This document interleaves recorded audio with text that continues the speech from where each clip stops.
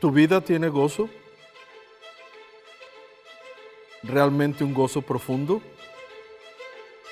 Yo soy la vid verdadera, ustedes son los pámpanos.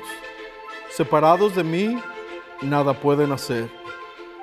Si tú estás buscando alegría verdadera y un gozo verdadero que no depende de las circunstancias, necesitas venir a Jesús, porque Él quiere darte su alegría. Y no solamente quiere darte su alegría, pero Dios, el creador de todo el universo, el Jesús resucitado, quiere que tu alegría sea completa.